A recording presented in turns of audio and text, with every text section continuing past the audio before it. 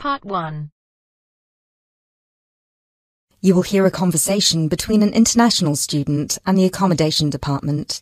You have 30 seconds to look at questions 1 to 3.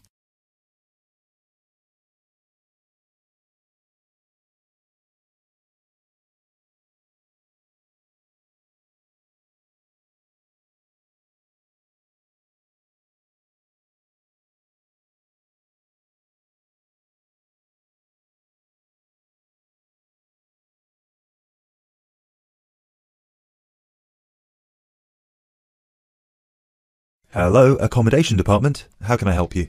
Uh, do you look after accommodation for international students? Yes, uh, we look after accommodation for all the students. Good. I hope you can help me then. I've only just been accepted onto a postgraduate course, and I want to know if there is any accommodation available from this September. I know it's very short notice. Mm, yes, uh, it, it is rather late, but I'm sure we'll be able to find you something. Uh, first of all, can you give me your name and student number so that I can find you on the system? Sure. My name is Maria Teresa Gonzalez. Maria Teresa Gonzalez. Uh, how do you spell that? G O N Z A L E Z. Thank you. Got it. And your student number, please? S H U three zero zero seven one five P G. S H U three zero zero seven one five PG. Ah, here you are. Department of Modern Languages. Yes, that's me.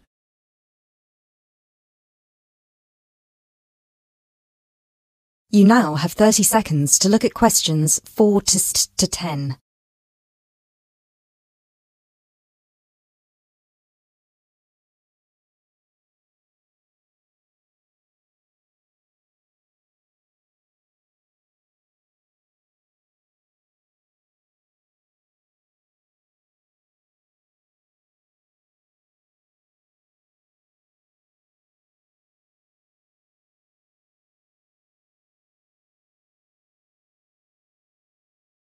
Okay, now there are several options for postgraduate students.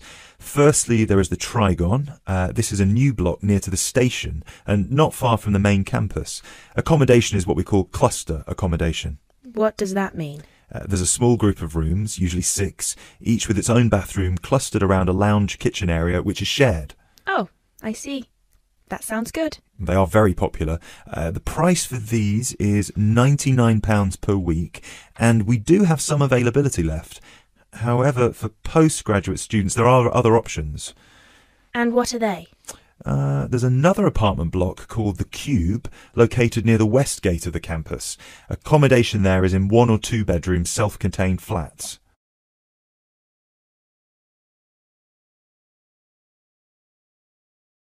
So, the cube is self contained. How does that work? Well, basically, they're just like ordinary apartments. Each apartment has one or two study bedrooms with ensuite bathroom, a lounge, and a kitchen. And what is the price of those? Uh, for the one bedroom, it is £180 per week, and for the two bedroom, it is £110 per week for each person. And can I choose who I share with? If you have a friend and you would like to share with them, of course, we can reserve a two bedroom apartment for you both. Otherwise, you just have to share with whoever else is there. Uh, obviously, it will be another woman. Hmm. I will have to think about this. Do I have to make a decision now? No, but we don't have much accommodation left, so I can't guarantee that there will still be availability if you leave it too long. Yes, that's fair. I have a friend in the management department who might like to share. I will speak with her and get back to you this afternoon. Okay, fine. Uh, do let us know as soon as you can. I will do. Thanks for all your help. My pleasure. Bye. Bye.